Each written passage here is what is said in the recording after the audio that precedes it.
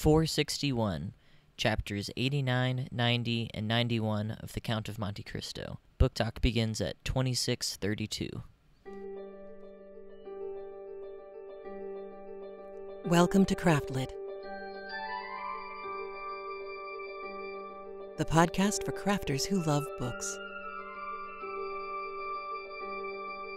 My name is Heather Ordover, and I'm podcasting from where the Delaware River meets the Old York Road, New Hope, Pennsylvania. Episode 461 Suivez-moi. This episode of Craftlit is brought to you by Embody Focus. Find out more at embodyfocus.com slash craftlit. Whoo, doggy, do I have a good show for you today. So, it's huge. It's epic. It's going to take you two settings minimum to listen to everything, but you will understand when you get to the end. And I know I sound like a broken record on this, but we're getting close to the end of the book. You will understand why I had to play three chapters for you. So good. So good. The whole episode is chock full of so good. First, I didn't do anything particularly crafty this week, but my friend Katie did. And she is going to share with you in a conversation with me what she's been up to and what might be of benefit to you as well.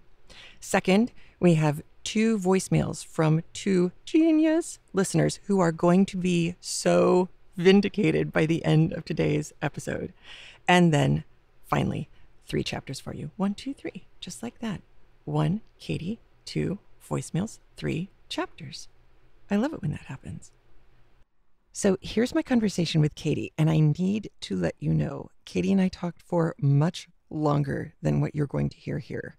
So if something doesn't make 100% sense, it's because I had to cut out a story that she told or something like that. And because her stories were all really good, I have made an extra episode. So if you want to hear more, you know, if you're trying to kill time between now and when the next chapters come out, you can listen to episode 461B. That is a bonus episode for you. That is the entire conversation between Katie of Embody Art and me. All right, here's the excerpt of our conversation. Here we go.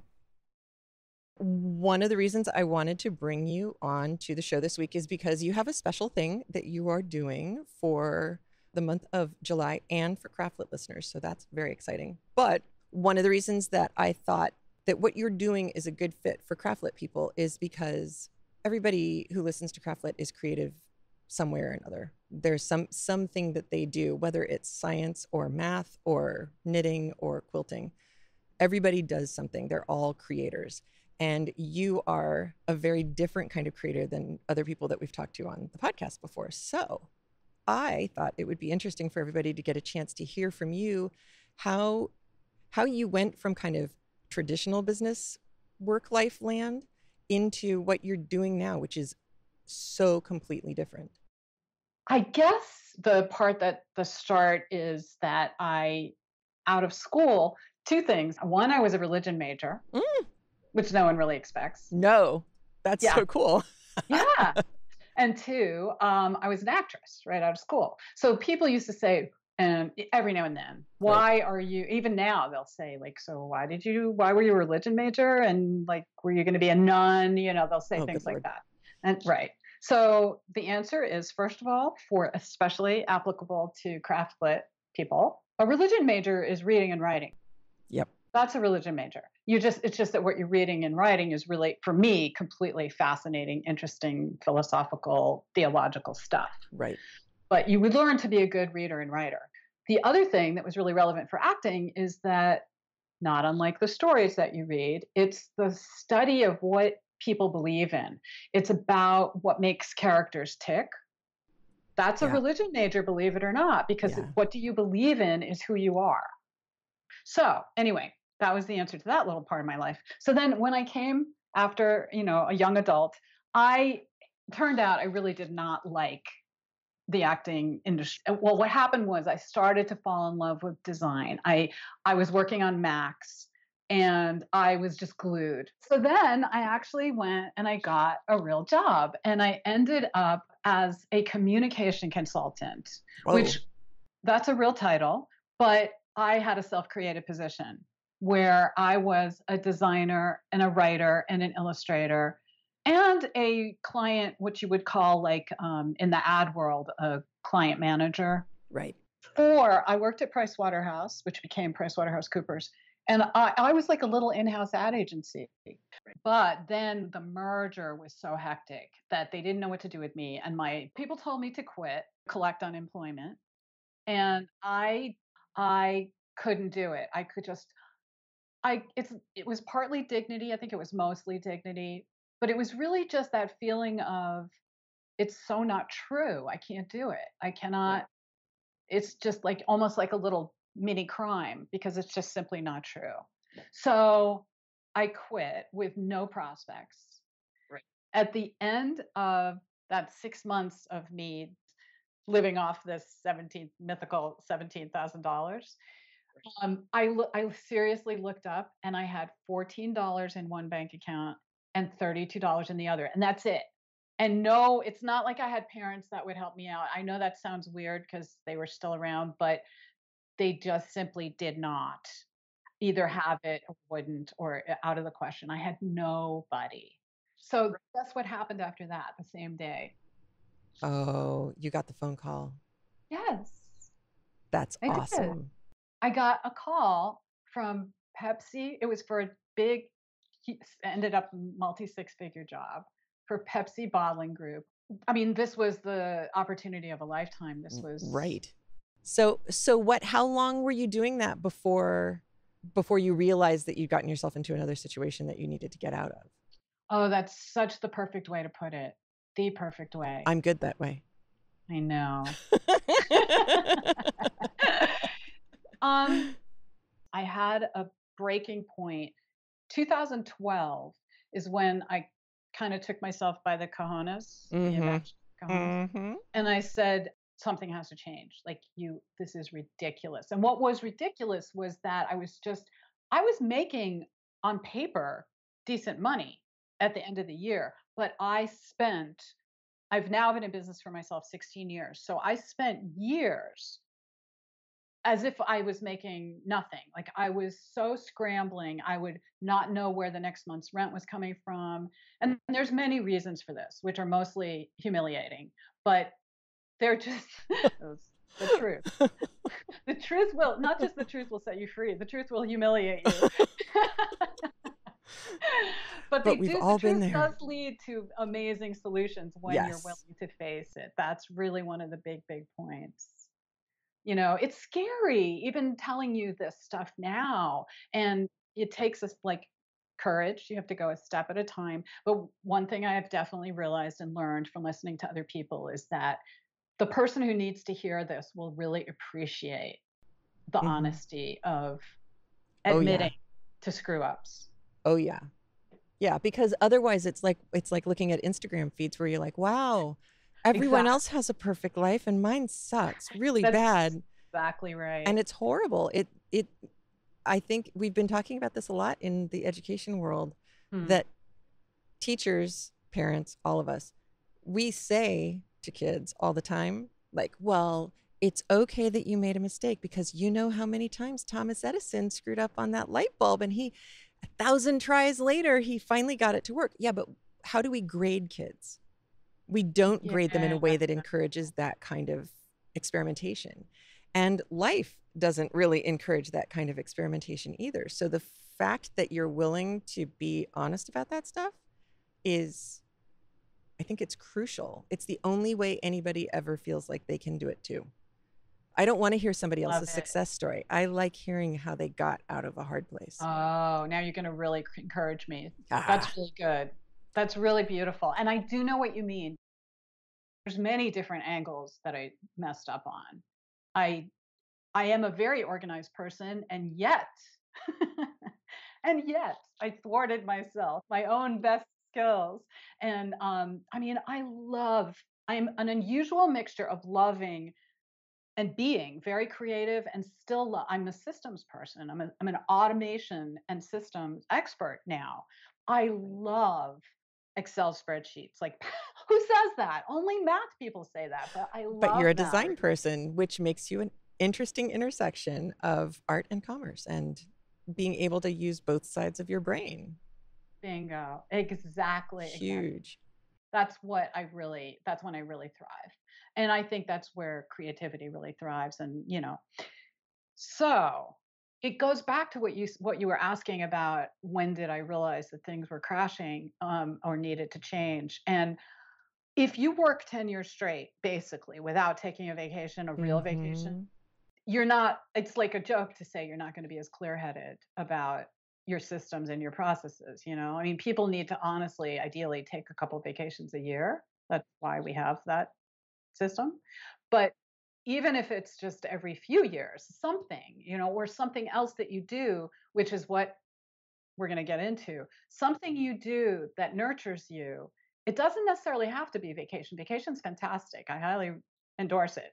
But it, you know whatever it is you do that really feeds you that isn't the same routine even if you love your work passionately just so that you do get that you know healthy interchange and it's like a balance. You need it's not you even if you're a very extreme person you still need balance you just have to balance extremes that's what i have found That is a good way to put it. Yes. yeah You know, you you help people go back and find their center. that is exactly why i'm doing this because it did do it for me and it can do it for others even uh, obviously it can do it for others because it did it for me and it was so big it was really what you've been talking about you know and i'm still hesitant to share how big it was because it's embarrassing honestly. I just feel embarrassed. And i realized what we said was true that people want to hear the failures. I get it but it's still hard to share that Well, it and it's it's also that these kinds of things that you're talking about and the the kinds of experiences that you've had that I've had that that you've seen more than just a few people have when they they Mhm. start to figure out how their how your systems fit with their work and their life and and the the the way that you are very encouraging about not do it the way I do it that you start with the try it the way I do it if you're going to change something, don't change it just cuz. You know, there's th- what's going on, what's the reason behind it because you've you've pegged several times things thing, things that I had bypassed that I didn't I wasn't doing myself any favors by bypassing them. It was just a pressure point. It was a hard thing to figure out how to do. But I think the systems that you've figured out and that you've encouraged the growth of in other people are the kinds of things that I now look back and think if I could go back and teach all 10 years of high school students, these are things I would have changed in my classroom because I think that they're they're life skills for the 21st century. They're not necessarily things that I would have thought of or needed to think of when I started teaching in 93. And I have a feeling that a lot of adults because everything is going so fast, we start to feel out at sea. And I mean, we all of us people who are listening to the podcast you me all of us we're we're really high functioning 21st century people because we have people who listen to podcasts. There you have what 38% of the population of the united states knows what a podcast is. It's an incredibly small percentage. But that that makes it even worse because it means we're at the front of the line and still struggling. And everybody else is behind us and and it makes such a, a huge difference to know that it's not just throw up your hands and say oh crap well i guess life's just going to suck Well, you know, it's there's so you're making me think of so many different things. But one of the things that you're making me think is that the reason people get into these constricted paths of what their life should be is because of what we're talking about because they're trying to survive. They're trying to figure out a way to make enough money to own a home and have a car and bring home food and, you know, survive and be relatively happy. But since that isn't rewarding for all of us, on the level that we've been talking about, like it has to be level, the playful level, the, the art level that I believe we all deserve to have, it can be more challenging. In the long run, it's actually easier because you're being true to yourself. But that's why I know that I actually know how to create systems to help that super original, creative person. And it's, you don't have to be super original, it'll help anybody, but it's really for somebody who wants to chart their own path. And it can feel like chaos. It can just feel like, Yeah. how do I, eh, you know, things are just flying everywhere. There's just like, how do you get a grip? I, and that is that is exactly what it feels like before before you start to figure these things out. And I, I am sure that people who have been listening to the podcast for several years can probably go back in time and figure out when I met you. I am reasonably in fact, I will put out a challenge to everyone and say wow. if you can figure out where in this in the book lineup things changed in in my world put it in the comments What an honor. because i have i have a feeling there are several people who are paying attention who will who will know and is such an honor. and it's going to be really interesting to see what they have to say because uh, everybody's real smart but you but you aren't doing this just by yourself anymore you've got Rianne who is also an expert you have you who are the systems expert and you also have done something very special for the craftlit community that we I should tell them about Yes. So I have created a special little giveaway for Yay. craft litters.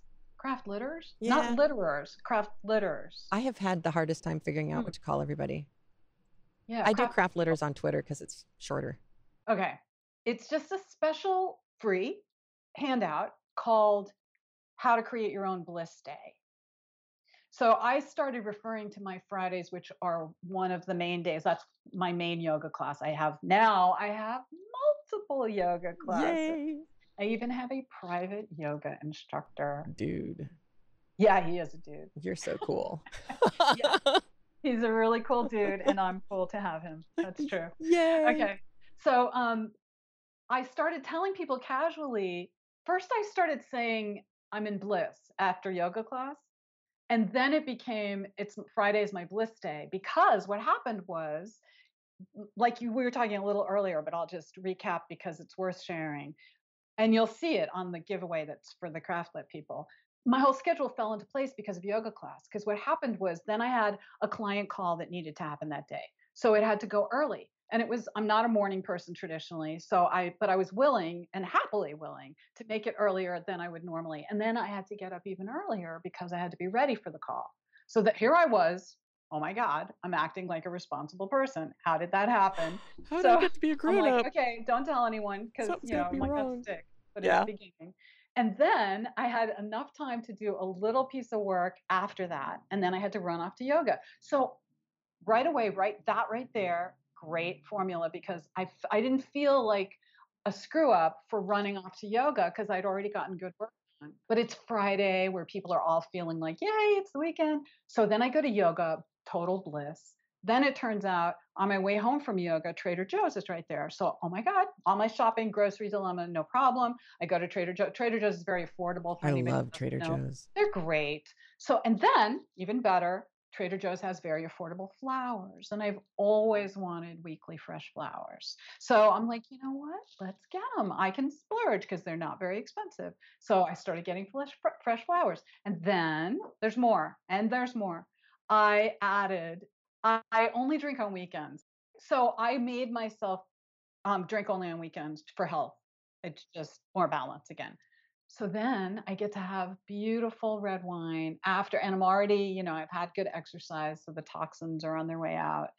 So I get to have great red, red wine. And then I've got really beautiful food from Trader Joe's, and I can wind down from the whole week. And that became, it, it's just heaven. That is my bliss day. So I, I, I started telling people, men and women, and they all seemed to respond really nicely to it. They were like, I want a bliss day too. So I was, I was, so I created just now for craftlit people how to make your own bliss day and just a simple cheat sheet of you know what questions to ask yourself so that because yours might look completely different from mine you can start with i have the example of mine there just in case I like that you did that on the on the page where people can sign up for the download thing that you you have your your answers yes on the page so they can see them. I love that. good that's just to give people viewers Yeah. an idea of you know just a jump start idea Yeah. It's a starting you know. point yeah to look at.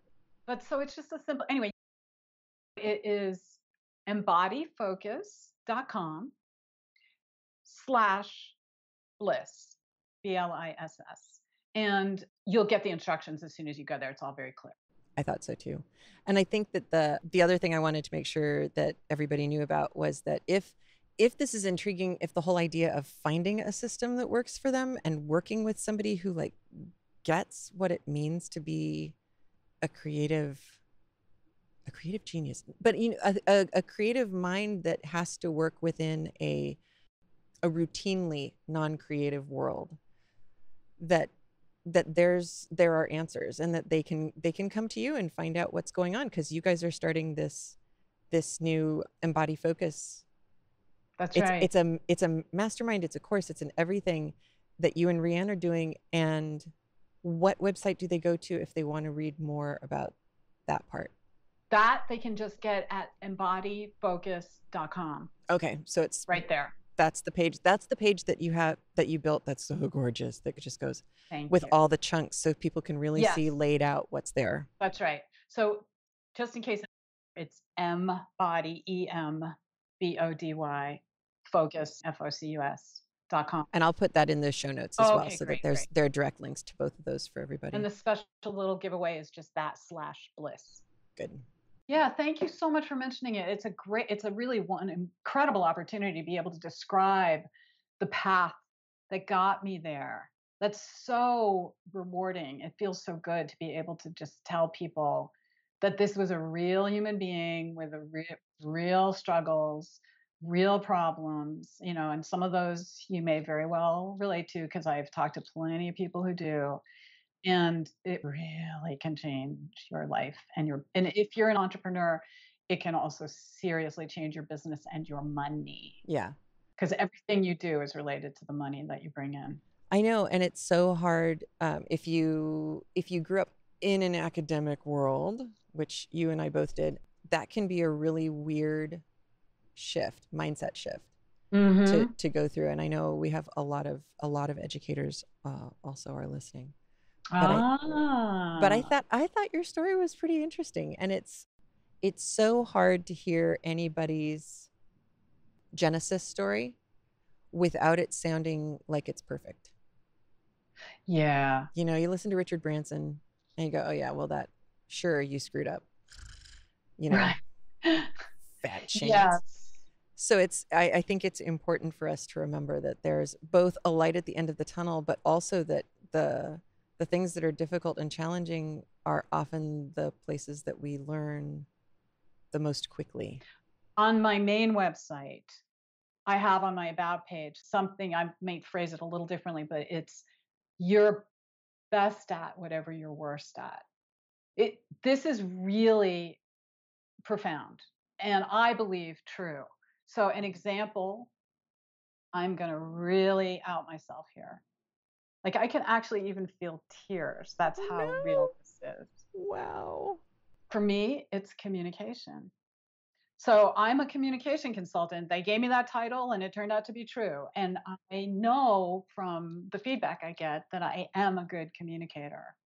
And I know that I- I do very well with language and words, and I love them passionately. However, it is also a big struggle for me. I have struggled and I continue to, but I've learned a lot to communicate effectively, especially with the people closest to me. And it has caused me a lot of heartbreak and it's still a great journey because I'm not I don't, you know, I've learned so much. That's really what you need is you just need perseverance and courage. The reason I just want to say the reason that you are best at what you're worst at. It isn't some weird, it feels like a weird trick of the universe. Right. But the reason it's true is because whatever that thing is, I don't care if it's food, I don't care if it's, I don't know, it could be anything that you think you're terrible at, but you also have a passion for it. The reason that it's that weird mix is because it's got you like to someone else who's who's you know okay at it or fine at it it doesn't have them it didn't grab them like the same you know? So whatever that thing is that's like got you that's you stand the chance of being a genius at that thing. Hmm. the big if is if you're willing if you're willing to confront it to face it and to to wrestle with it. basically look your demons in in the eyes. Yeah. What a great place to end for a religion major you just get me chills and it's really hot. I know. Another like, you know, seeming completely impossible this is so great. I am so glad we did this. Yeah, you're amazing. Oh, so are you. So, you know, Mutual Admiration Society. Totally. Yay. A real one for sure. So I hope you take a minute or two to go over and grab your Build Your Bliss Day downloadable at embody art dot com slash bliss. And again, it's E M B O D Y A R T dot com. You can also go to craftlit dot com slash bliss and get all the links you need and information to Katie's work and what she's been up to right there on the Craftlit site.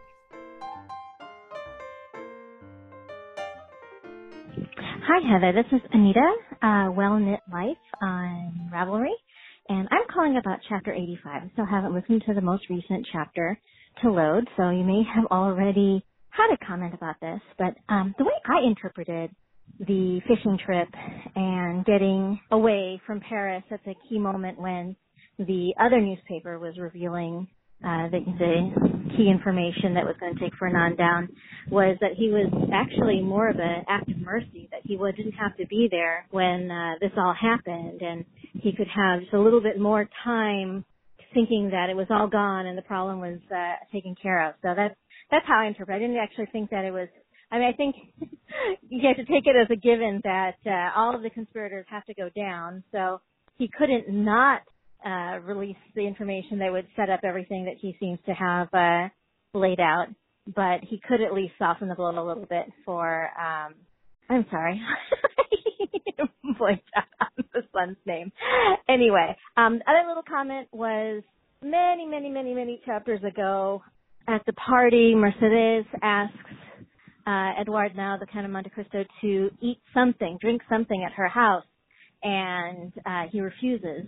And that really was reminiscent to me of this idea in India, very, very backward in my opinion, idea that some people have that, you know, once your daughter marries, uh, if even if you go to visit her, you will not even drink water, uh, at her house. And that was, that, that, that was very much, uh, something that did. Now she's gone from his life. He will not even drink water at her house. He's, he's relinquished her in that way. Uh, and I think, you know, if she takes that way, then of course that would be especially painful, uh, since she seems to know, uh, seems to know. Uh, anyway, that's it. I'm sorry for the car noise in the background, a little bit of a busy street, uh, but I just, I had a minute to talk, so I would, thought I would leave the message. Love the podcast. Bye. So we're going to hear more about Edmond, the Count of Monte Cristo, not eating at Mercedes' house today. And I didn't say anything about it at the time, but now that Anita said this, I had thought when I heard the Count of Monte Cristo not eating, the first thing that had come to my mind was not eating in fairy land environments. There's something that popped up in Jonathan Strange and Mr. Norrell. It pops up in lots and lots of stories. I think it even popped up on True Blood that if you are in fairy country, and I do mean little, you know, flying fairies that can be really, really nasty tricksters, you are not supposed to eat or drink anything because you get trapped there. And if you haven't read Jonathan Strange and Mr. Norrell, I haven't mentioned it for years, but wow, amazing book, huge book. Read it on a Kindle. You won't be as intimidated. I think it might actually be bigger than the Count of Monte Cristo. And today we hit chapter, well, in chapter 91, we hit page 1000 in my copy of the book. Just so you can be really proud of yourself for having stuck around this long. So yeah, the the whole uh, getting trapped by eating or drinking something at somebody's house, or not wanting to take anything offered generously from someone who is your enemy. There's a lot of stories where this is an overlay to actions that people either do or don't take. Okay, and then we have our voicemail from our fabulous Ken in Honolulu. Ken, who has been so insightful about motivations, especially when it comes to characters like Danglars. Oh, Ken, are you going to be patting yourself on the back by the end of the chapters today? All right, here we go with Ken's voicemail. Hi, this is Ken from Honolulu. I find it interesting to think that you think that Monte Cristo was the one that put the information in the paper to really mess up Ferdinand. I don't think so. I think it was Danglars because of the fact that Monte Cristo told him earlier, oh, well, don't you have people that can check this out to make sure that this is what actually happened? And Monte Cristo may have been the architect of it, but I don't think he's the one that did it. If you look in his past history, he's the one that he tells other people to do stuff and they do it. So I think it was more him. And also Danglars has a real bone to pick with Ferdinand because he bought his name and title and Danglars figures that he got his, you know, in a different way. So it might be that. I think it was Danglars that he got that information from. But also, it's kind of interesting that people seem to forget that Monte Cristo, right after he was rescued, when he escaped from the prison, and um, they got to the shore and they went to a bar or a tavern, and he looked around him and he said, when he was very young, as Edmond, he says, "Oh, if these men just had somebody that could guide them and get them together, they could be a real force to deal with. So he was one of the first masterminds of organized crime, if you want to put it that way. And I think that's where he's still getting a lot of his money, not just from the fact of the uh, Abbe having all this money, having all these jewels and money and everything hidden there on Monte Cristo. So it's just kind of interesting. Thank you. Bye. So, if like Ken, you remembered the scene where recently released I put that in quotation marks, quotation marks with a giant grin on my face. Right after Edmond was released from the Chateau d'If, if you also remembered that scene in the bar, what I remember about it is that I spent an inordinate amount of time looking at Google Maps to find out if that location was still there. and and it is. And because I simply haven't changed, I just took a break so that I could go find the episode and chapter again. And actually, it's probably not a bad idea to go back and listen to that uh, that episode again. It is episode 416 covering chapters 21 and 22. Chapter 22 is the one in question, and I've actually lifted the text from the uh, the Victorian translation, the Gutenberg translation, in case you wanted to see it, and that is in the show notes at craftlit.com/slash 461. But yeah, Ken's right. And yeah, if you wanted to go back and listen to that episode, it's 416. So craftlit.com slash 416. And, uh, and you can hear about that. I also, again, because I don't change, I have linked to the Google map where you can find the wall that had housed the entrance to this particular tavern. And I also put a picture of the wall currently as far as Google Earth is concerned, where you or Google Maps where you can do the street view. because I am a big old geek is what it comes down to. So, yay, Ken. Thank you so much. I always look forward to hearing from you and from everyone. If you have something to say, please call area code 206 350 1642 or go to the website and you will see a little tabby in the right hand edge of your screen. It'll say send voicemail, and that is how you can connect with SpeakPipe and it'll send me a file and I'll be able to play it. Or actually, Justin will be able to play it for you because he's awesome and he's editing. You don't need anything from me except this. The line that became the title of this episode, Suivez-moi, Suivez-moi, that is a line from William Tell, the big William Tell opera, the William Tell Overture William Tell opera. You're going to hear a reference to it right at the beginning. Suivez-moi means follow me, like follow me into the breach. And because, again, I am a big old geek, I went looking for this particular segment of William Tell, and I found fabulous one. I have a link in the show notes that will take you to the moment that this section of the I don't know. I don't know if it's an aria or not. It's a guy. I think guys can sing arias, right? I know nothing about opera except that it's big and showy and has lots of amazing costumes.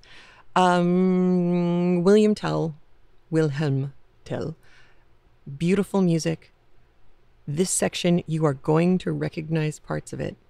And shortly after the fanfare that opens this segment of the song aria thing, somebody call and tell me what this is called. Uh, you will hear Suivez-moi, suivez-moi, follow me, follow me. And I know you'll know what it means. Yay. And also, of course, kind of perfect how it shows up in our chapter today. First chapter today of three. All right, no more waiting. It is time to listen to our three chapters. Here we go with chapters 89, 90, and 91 of The Count of Monte Cristo by Alexandre Dumas, who just celebrated a birthday. Um, posthumously, but nonetheless, a birthday. Here we go.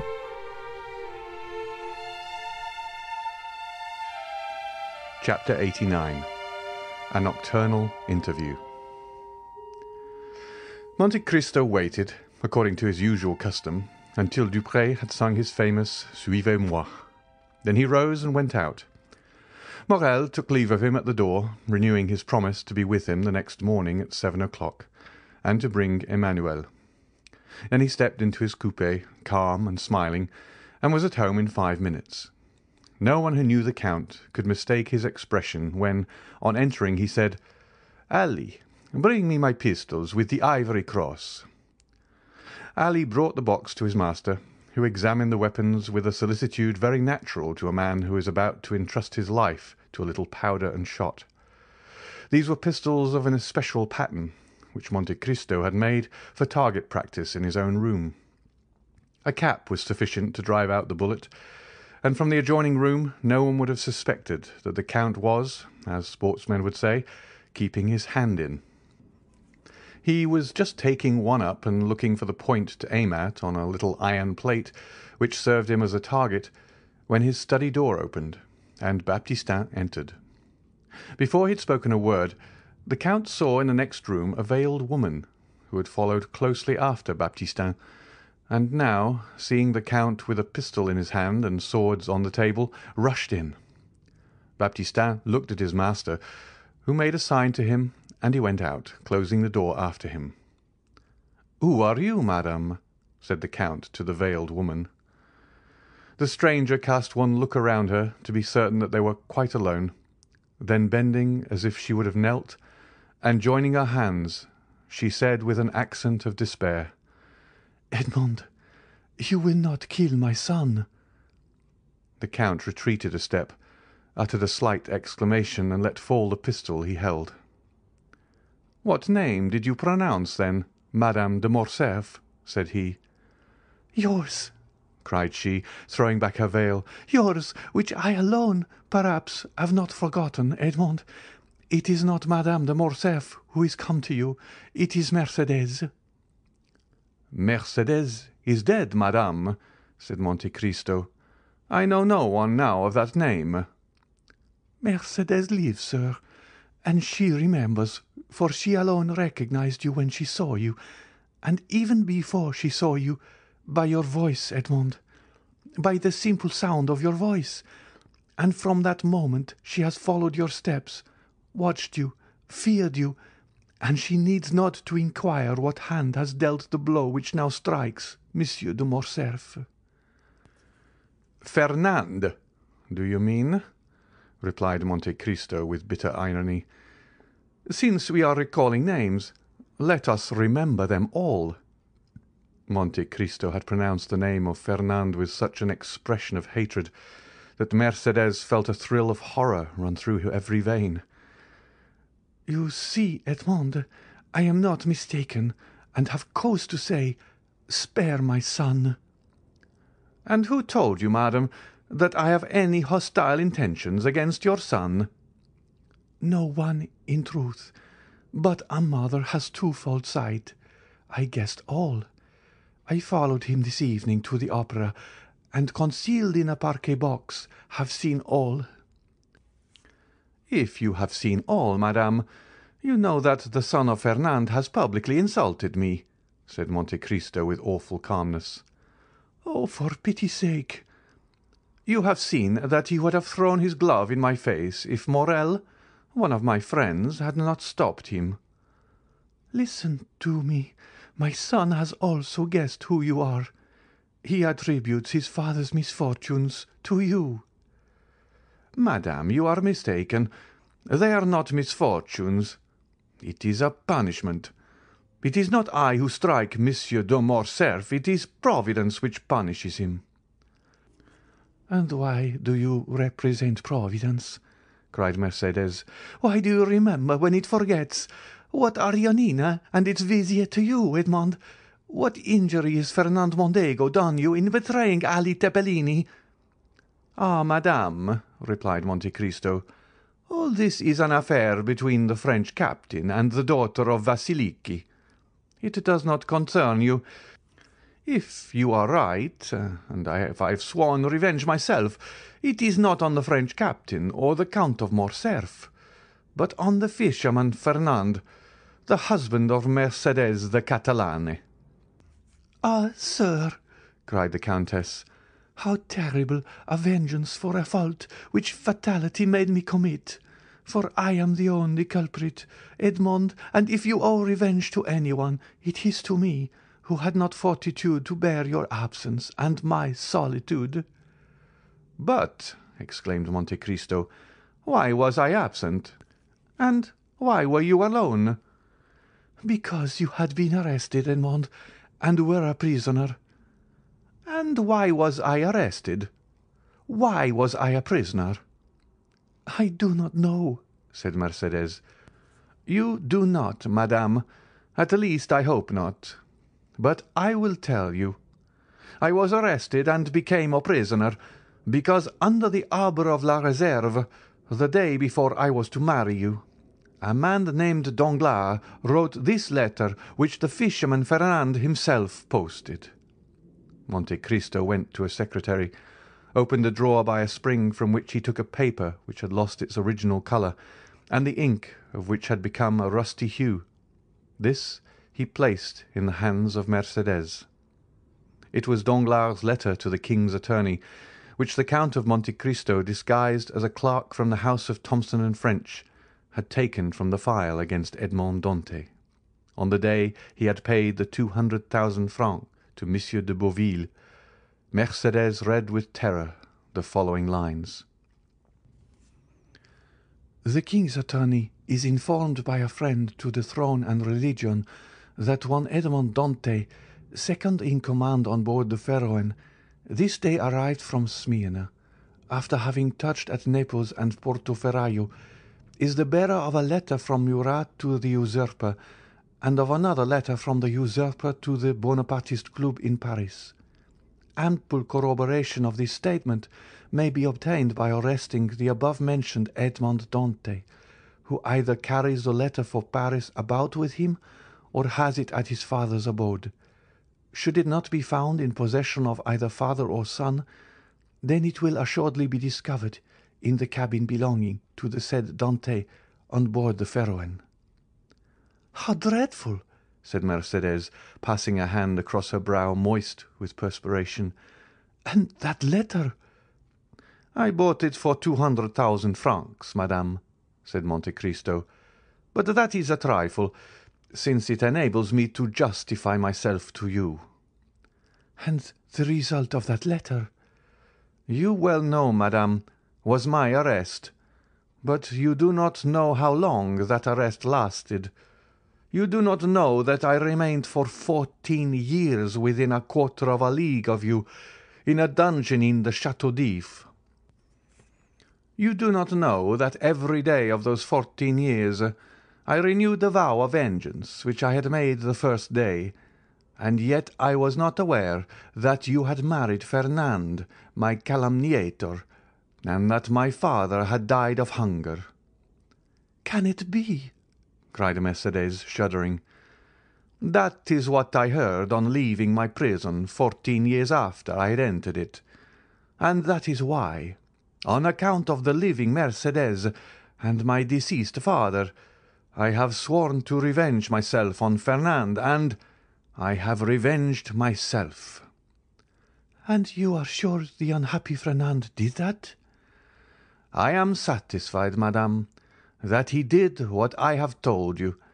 Besides, that is not much more odious than that a Frenchman by adoption should pass over to the English, that a Spaniard by birth should have fought against the Spaniards, that a stipendiary of Ali should have betrayed and murdered Ali. Compared with such things, what is the letter you have just read? A lover's deception, which the woman who has married that man ought certainly to forgive, but not so the lover who was to have married her. Well, the French did not avenge themselves on the traitor. The Spaniards did not shoot the traitor. Ali in his tomb left the traitor unpunished, but I, betrayed, sacrificed, buried, have risen from my tomb, by the grace of God, to punish that man. He sends me for that purpose, and here I am. The poor woman's head and arms fell. Her legs bent under her, and she fell on her knees. Forgive, Edmond, forgive for my sake, who love you still. The dignity of the wife checked the fervour of the lover and the mother. Her forehead almost touched the carpet when the Count sprang forward and raised her. Then, seated on a chair, she looked at the manly countenance of Monte Cristo, on which grief and hatred still impressed a threatening expression. "Not crushed at a cursed race?" murmured he. "Abandon my purpose at the moment of its accomplishment? Impossible, madame, impossible!" "Edmond," said the poor mother, who tried every means, "when I called you Edmond, why do you not call me Mercédès?" "Mercédès!" repeated Monte Cristo. "Mercédès! Well, yes, you are right. That name has still its charms, and this is the first time for a long period that I have pronounced it so distinctly. Oh, Mercédès! I have uttered your name with the sigh of melancholy, with the groan of sorrow, with the last effort of despair. I have uttered it when frozen with cold, crouched on the straw in my dungeon. I have uttered it consumed with heat, rolling on the stone floor of my prison. Mercédès, I must revenge myself, for I suffered fourteen years. Fourteen years I wept, I cursed. Now I tell you, Mercédès, I must revenge myself. The Count fearing to yield to the entreaties of her he had so ardently loved, called his sufferings to the assistance of his hatred. "Revenge yourself, then, Edmond," cried the poor mother, "but let your vengeance fall on the culprits, on him, on me, but not on my son." "It is written in the good book," said Monte Cristo, "that the sins of the fathers shall fall upon their children to the third and fourth generation, since God himself dictated those words to his prophet. Why should I seek to make myself better than God?" "Edmond," continued Mercédès, with her arms extended towards the Count, "since I first knew you, I have adored your name, have respected your memory. Edmond, my friend, do not compel me to tarnish that noble and pure image reflected incessantly on the mirror of my heart. Edmond, if you knew all the prayers I have addressed to God for you while I thought you were living, and since I have thought you must be dead. Yes, dead, alas! I imagined your dead body buried at the foot of some gloomy tower, or cast to the bottom of a pit by hateful jailers, and I wept. What could I do for you, Edmond, besides pray and weep?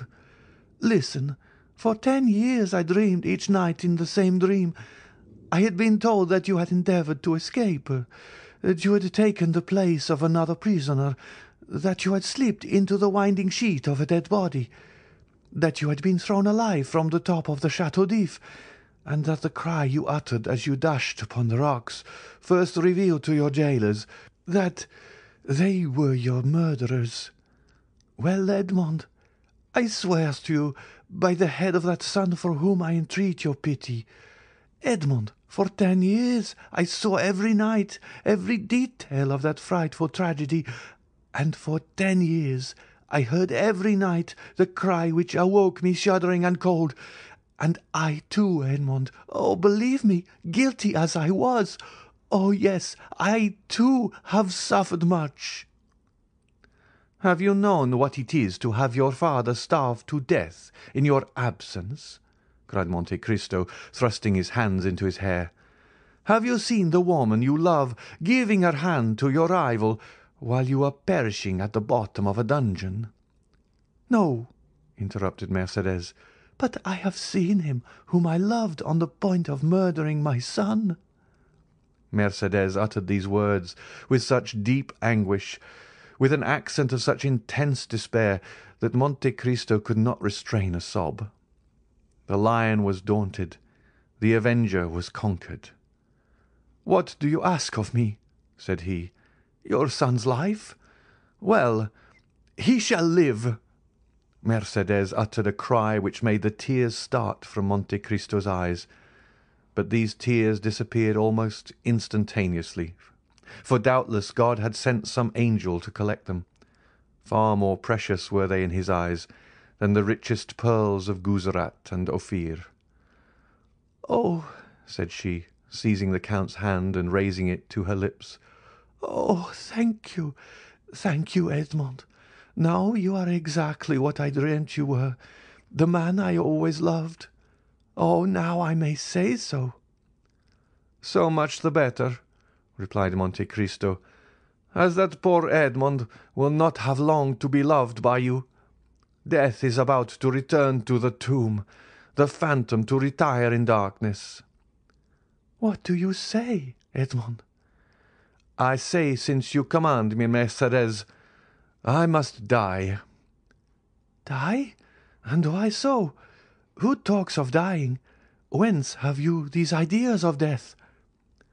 "You do not suppose that, publicly outraged, in the face of a whole theatre in the presence of your friends and those of your son, challenged by a boy who will glory in my forgiveness as if it were a victory, you do not suppose that I can for one moment wish to live. What I most loved after you, Mercédès, was myself, my dignity, and that strength which rendered me superior to other men. That strength was my life. With one word you have crushed it and I die. But the duel will not take place, Edmond, since you forgive. It will take place, said Monte Cristo in a most solemn tone. But instead of your son's blood to stain the ground, mine will flow. Mercédès shrieked and sprang towards Monte Cristo, but suddenly stopping. Edmond, said she, there is a God above. Since you live, and since I have seen you again, I trust to him from my heart. While waiting his assistance, I trust to your word. You have said that my son should live, have you not?" "Yes, madame, he shall live," said Monte Cristo, surprised that without much more emotion Mercédès had accepted the heroic sacrifice he made for her. Mercédès extended her hand to the Count. "Edmond," said she, and her eyes were wet with tears while looking at him to whom she spoke. How noble it is of you!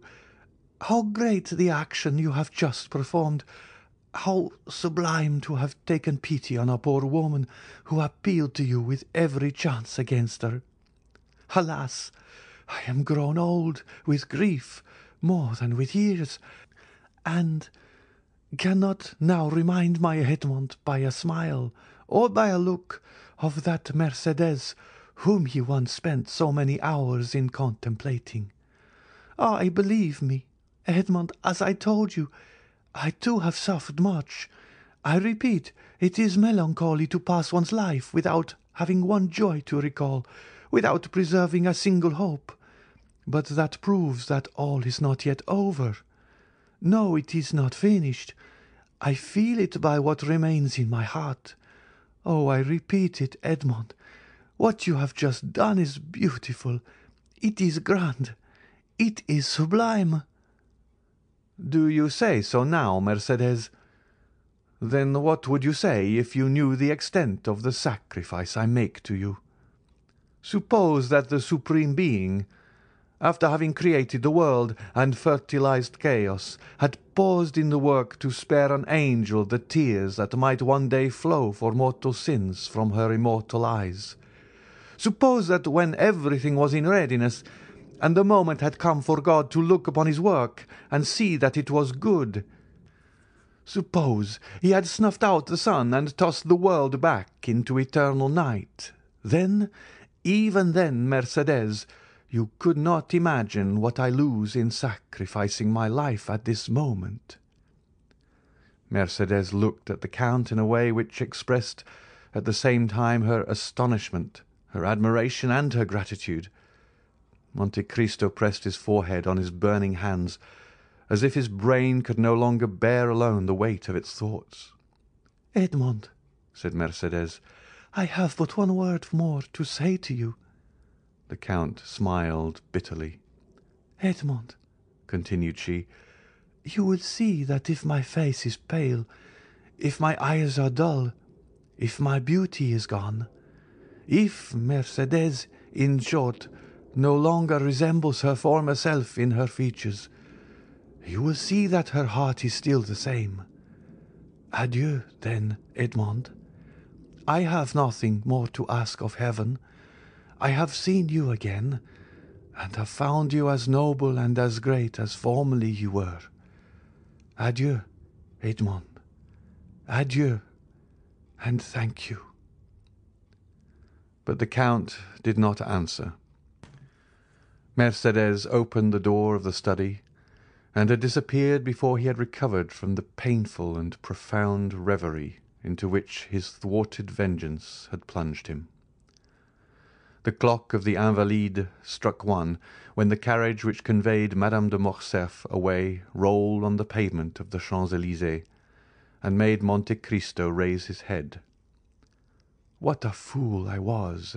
said he not to tear my heart out on the day when I resolved to avenge myself.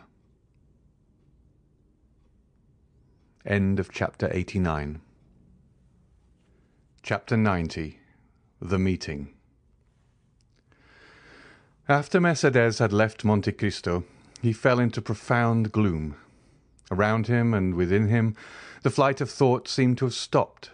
His energetic mind slumbered as the body does after extreme fatigue. "What?" said he to himself while the lamp and the wax lights were nearly burnt out, and the servants were waiting impatiently in the anteroom. "What? This edifice which I have been so long preparing, which I have reared with so much care and toil, is to be crushed by a single touch, a word, a breath? Yes, this self of whom I thought so much of whom I was so proud, who had appeared so worthless in the dungeons of the Château d'If, and whom I had succeeded in making so great, will be but a lump of clay to-morrow. Alas! It is not the death of the body I regret, for is not the destruction of the vital principle, the repose to which everything is tending, to which every unhappy being aspires. Is not this the repose of matter after which I so long sighed, and which I was seeking to attain by the painful process of starvation when Faria appeared in my dungeon? What is death for me? One step farther into rest, two, perhaps, into silence. No, it is not existence, then, that I regret, but the ruin of projects so slowly carried out, so laboriously framed. Providence is now opposed to them. When I most thought it would be propitious, it is not God's will that they should be accomplished. This burden, almost as heavy as a world, which I had raised and I had thought to bear to the end, was too great for my strength, and I was compelled to lay it down in the middle of my career. Oh, shall I then again become a fatalist, whom fourteen years of despair and ten of hope had rendered a believer in Providence? And all this, all this because my heart, which I thought dead, was only sleeping, because it has awakened and has begun to beat again, because I have yielded to the pain of the emotion excited in my breast by a woman's voice. Yet, continued the Count, becoming each moment more absorbed in the anticipation of the dreadful sacrifice for the morrow which Mercédès had accepted, yet it is impossible that so noble-minded a woman should thus through selfishness consent to my death when I am in the prime of life and strength. It is impossible that she can carry to such a point maternal love, or rather delirium. There are virtues which become crimes by exaggeration. No, she must have conceived some pathetic scene. She will come and throw herself between us, and what would be sublime here will there appear ridiculous. The blush of pride mounted to the Count's forehead as this thought passed through his mind. Ridiculous? Repeated he. And the ridicule will fall on me. I? Ridiculous? No, I would rather die. By thus exaggerating to his own mind the anticipated ill fortune of the next day to which he had condemned himself by promising Mercédès to spare her son, the Count at last exclaimed, Folly, folly, folly, to carry generosity so far as to put myself up as a mark for that young man to aim at. He will never believe that my death was suicide, and yet it is important for the honour of my memory, and this surely is not vanity but a justifiable pride. It is important the world should know that I have consented by my free will to stop my arm, already raised to strike, and that with the arm which has been so powerful against others I have struck myself. It must be. It shall be. Seizing a pen, he drew a paper from a secret drawer in his desk and wrote at the bottom of the document, which was no other than his will, made since his arrival in Paris, a sort of codicil clearly explaining the nature of his death. I do this, O my God, said he, with his eyes raised to heaven, as much for thy honour as for mine. I have during ten years considered myself the agent of thy vengeance, and other wretches like Morcerf, Danglars, Villefort, even Morcerf himself, must not imagine that chance has freed them from their enemy. Let them know, on the contrary, that their punishment, which had been decreed by Providence, is only delayed by my present determination, and although they escape it in this world, it awaits them in another, and that they are only exchanging time for eternity.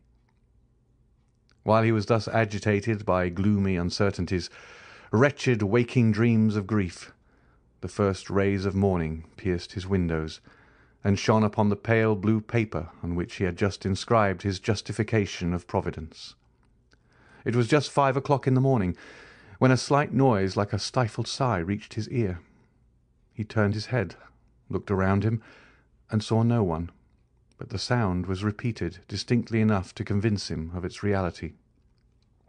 He arose, and quietly opening the door of the drawing-room, saw Haydée, who had fallen on a chair with her arms hanging down and her beautiful head thrown back. She had been standing at the door, to prevent his going out without seeing her, until sleep, which the young cannot resist, had overpowered her frame, wearied as she was with watching. The noise of the door did not awaken her, and Monte Cristo gazed at her with affectionate regret. "She remembered that she had a son," said he, "and I forgot I had a daughter." Then shaking his head sorrowfully, "Poor Haydée!" Said he. "She wished to see me, to speak to me. She has feared or guessed something. Oh, I cannot go without taking leave of her. I cannot die without confiding her to some one."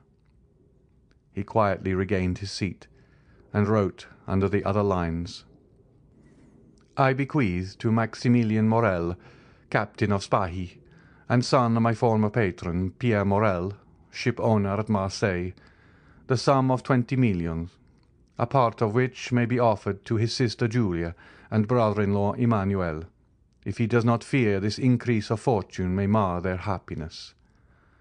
These twenty millions are concealed in my grotto at Monte Cristo, of which Bertuccio knows the secret.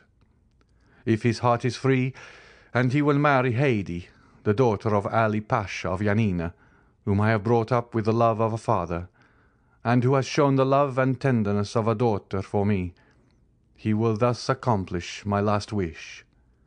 This will has already constituted Haydée heiress of the rest of my fortune, consisting of lands, funds in England, Austria, and Holland, furniture in my different palaces and houses, and which without the twenty millions, and the legacies to my servants, may still amount to sixty millions." He was finishing the last line when a cry behind him made him start, and the pen fell from his hand. "Haydée," said he. Did you read it?" "Oh, my lord," said she, "why are you writing thus at such an hour? Why are you bequeathing all your fortune to me? Are you going to leave me?" "I am going on a journey, dear child," said Monte Cristo with an expression of infinite tenderness and melancholy, "and if any misfortune should happen to me—" The count stopped. "Well?" asked the young girl with an authoritative tone the count had never observed before, and which startled him. "Well, if any misfortune happened to me," replied Monte Cristo, "I wish my daughter to be happy." Haydée smiled sorrowfully and shook her head. "Do you think of dying, my lord?" said she. "The wise man, my child, has said, 'It is good to think of death.'" "Well, if you die," said she, Bequeath your fortune to others, for if you die I shall require nothing." And taking the paper she tore it into four pieces and threw it in the middle of the room. Then, the effort having exhausted her strength, she fell not asleep this time, but fainting on the floor. The count leaned over her and raised her in his arms, and seeing that sweet pale face, those lovely eyes closed, that beautiful form motionless, and to all appearance lifeless, the idea occurred to him for the first time that perhaps she loved him otherwise than as a daughter loves a father. "Alas!" murmured he with intense suffering, "I might, then, have been happy yet." Then he carried Haydée to her room, resigned her to the care of her attendants, and returning to his study, which he shut quickly this time, he again copied the destroyed will. As he was finishing, the sound of a cabriolet entering the yard was heard. Monte Cristo approached the window and saw Maximilian and Emmanuel alight. "Good," said he. "It was time." And he sealed his will with three seals. A moment afterwards he heard a noise in the drawing-room and went to open the door himself. Morrel was there. He had come twenty minutes before the time appointed. "I am perhaps come too soon, Count," said he, "but I frankly acknowledge that I have not closed my eyes all night, nor has anyone in my house. I need to see you strong in your courageous assurance to recover myself." Monte Cristo could not resist this proof of affection. He not only extended his hand to the young man, but flew to him with open arms. "Morrel," said he, It is a happy day for me to feel that I am beloved by such a man as you. Good morning, Emmanuel. You will come with me, then, Maximilian?" "Did you doubt it?" said the young captain. "But if I were wrong?" "I watched you during the whole scene of that challenge yesterday. I have been thinking of your firmness all night, and I said to myself that justice must be on your side or man's countenance is no longer to be relied on." "But, Morrel, Albert is your friend." "Simply an acquaintance, sir." "You met on the same day you first saw me." "Yes, that is true, but I should not have recollected it if you had not reminded me." "Thank you, Morrel." Then ringing the bell once, "Look," said he to Ali, who came immediately, "take that to my solicitor. It is my will, Morrel. When I am dead you will go and examine it." "What!" said Morrel. "You dead?" "Yes. Must I not be prepared for everything, dear friend? But what did you do yesterday after you left me?" "I went to Tortoni's, where, as I expected, I found Beauchamp and Renaud. I own I was seeking them." "Why, then all was arranged?" "Listen, Count. The affair is serious and unavoidable." "Did you doubt it?" "No. The offence was public, and everyone is already talking of it." "Well?" "Well, I hope to get an exchange of arms, to substitute the sword for the pistol. The pistol is blind." "Have you succeeded?" Asked Monte Cristo quickly, with an imperceptible gleam of hope. "No, for your skill with the sword is so well known." "Ah! Who has betrayed me?" "The skilful swordsman whom you have conquered." "And you failed?" "They positively refused." "Morrel," said the count, "have you ever seen me fire a pistol?" "Never." "Well, we have time. Look." Monte Cristo took the pistols he held in his hand when Mercédès entered, and fixing an ace of clubs against the iron plate, with four shots he successfully shot off the four sides of the club. At each shot Morrel turned pale. He examined the bullets with which Monte Cristo performed this dexterous feat, and saw that they were no larger than buckshot. "It is astonishing," said he. "Look, Emmanuel!" Then turning towards Monte Cristo, "Count," said he, "in the name of all that is dear to you, I entreat you not to kill Albert. The unhappy youth has a mother." "You are right," said Monte Cristo, "and I have none." These words were uttered in a tone which made Morrel shudder. "You are the offended party, Count." "Doubtless. What does that imply?" "That you will fire first." "I fire first?" "Oh, I obtained, or rather I claimed that we had conceded enough for them to yield us that." "And at what distance?" "Twenty paces." A smile of terrible import passed over the count's lips. Morrel, said he, "do not forget what you have just seen."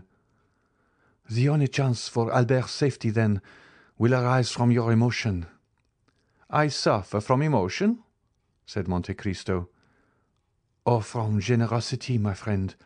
To so good a marksman as you are, I may say what would appear absurd to another." "What is that?" "Break his arm, wound him, but do not kill him." "I will tell you, Morrel," said the count, "that I do not need entreating to spare the life of Monsieur de Morcerf. He shall be so well spared that he will return quietly with his two friends, while I—" "And you?" "That will be another thing. I shall be brought home." "No, no!" cried Maximilian, quite unable to restrain his feelings. "As I told you, my dear Morrel, Monsieur de Morcerf will kill me." Morrel looked at him in utter amazement. "But what has happened since last evening, Count?" "The same thing that happened to Brutus the night before the battle of Philippi. I have seen a ghost." "And that ghost?" "Told me, Morrel, that I had lived long enough." Maximilian and Emmanuel looked at each other. Monte Cristo drew out his watch. "Let us go," said he. "It is five minutes past seven, and the appointment was for eight o'clock." A carriage was in readiness at the door. Monte Cristo stepped into it with his two friends. He had stopped a moment in the passage to listen at a door, and Maximilian and Emmanuel, who had considerately passed forward a few steps, thought they heard him answer by a sigh to a sob from within. As the clock struck eight, they drove up to the place of meeting. "We are first," said Morrel, looking out of the window. "Excuse me, sir," said Baptistin, who had followed his master with indescribable terror, "but I think I see a carriage down there under the trees." Monte Cristo sprang lightly from the carriage, and offered his hand to assist Emmanuel and Maximilian. The latter retained the Count's hand between his. "I like," said he, "to feel a hand like this, when its owner relies on the goodness of his cause." "It seems to me," said Emmanuel, "that I see two young men down there who are evidently waiting." Monte Cristo drew Morrel a step or two behind his brother-in-law. "Maximilian," said he, "are your affections disengaged?" Morrel looked at Monte Cristo with astonishment. "I do not seek your confidence, my dear friend. I only ask you a simple question. Answer it. That is all I require." "I love a young girl, Count." "Do you love her much?" "More than my life." "Another hope defeated," said the Count. Then with a sigh, "Poor Haydée!" murmured he. "To tell the truth, Count, if I knew less of you, I should think that you are less brave than you are." "Because I sigh when thinking of someone I am leaving. Come, Morrel, it is not like a soldier to be so bad a judge of courage. Do I regret life? What is it to me, who have passed twenty years between life and death? Moreover, do not alarm yourself. Morrel, this weakness, if it's such, is betrayed to you alone. I know the world is a drawing-room from which we must retire politely and honestly, that is, with a bow and our debts of honour paid. That is to the purpose. Have you brought your arms? I? What for? I hope these gentlemen have theirs. I will inquire, said Morrel. Do, but make no treaty. You understand me. You need not fear. Morrel advanced towards Beauchamp and Château Renaud, who, seeing his intention, came to meet him. The three young men bowed to each other courteously, if not affably. "Excuse me, gentlemen," said Morrel, "but I do not see Monsieur de Morcerf." "He sent us word this morning," replied Château Renaud, "that he would meet us on the ground." "Ah!" said Morrel. Beauchamp pulled out his watch.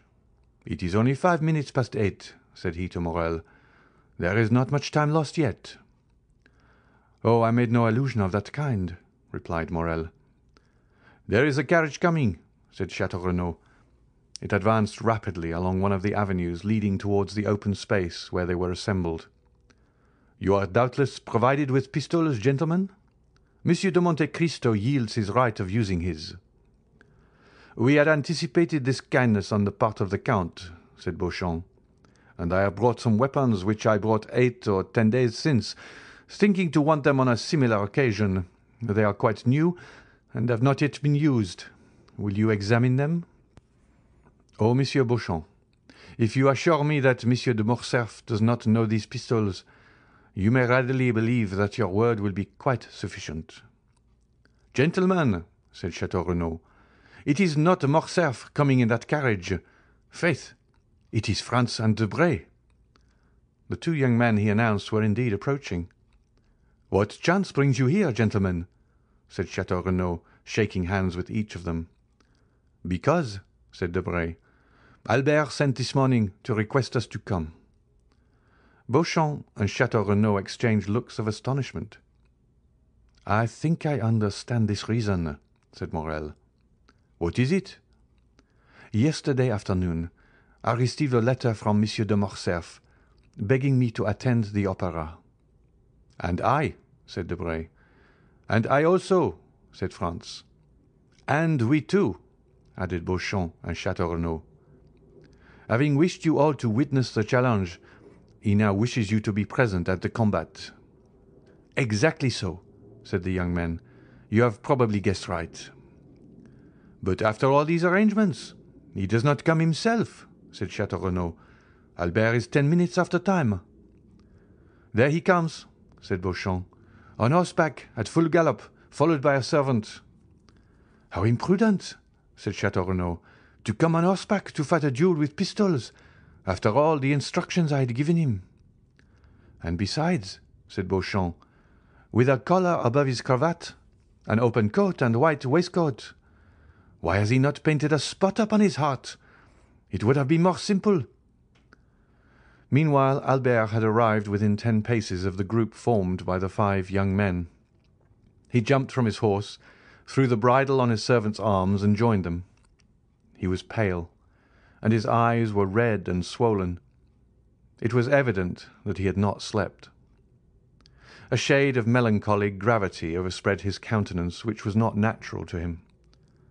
"I thank you, gentlemen," said he, "for having complied with my request. I feel extremely grateful for this mark of friendship."